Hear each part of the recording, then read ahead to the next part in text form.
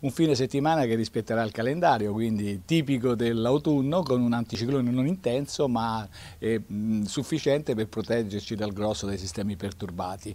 Eh, ci sarà qualche infiltrazione ma tutto si risolverà in un po' di nuvolosità, quindi più in dettaglio prevediamo su Padova, sul Padovano, eh, per domani un cielo in prevalenza poco nuvoloso sereno, primissime ore in pianura, qualche banco di nebbia ma soprattutto un po' di foschia, però ripeto eh, avrà la meglio poi il sole quindi ampi rasserenamenti. Per domenica un po' di infiltrazione durante la notte, le primissime ore eh, del giorno festivo, quindi un po' di nuvolosità maggiore, un cielo in parte coperto, ma poi gradualmente, ma anche velocemente, l'anticiclone avrà ancora la meglio, il sole scalderà e quindi avremo dei rasserenamenti. Un tipo di tempo autunnale, ma direi mite, un, buon, bel tempo, un tempo stabile, ci accompagnerà per quasi tutta la prossima settimana. Intanto prossime ore tempo, mh, eh, vento molto debole, di direzione variabile, temperature abbiamo detto già miti, le minime 12-14 gradi, le massime dai 21 ai 23 gradi. È tutto.